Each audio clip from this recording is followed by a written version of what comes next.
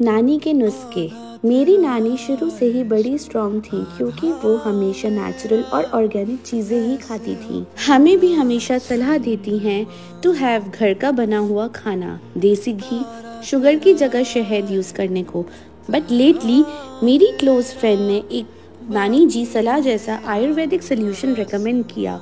जिसमें है इम्यूनिटी बढ़ाने की आयुर्वेदिक शक्ति, और ये है एक्जियोम का रॉयल आयुर्वेदिक च्यवनप्राश इसमें है goodness of desi cow A two ghee which is good for our health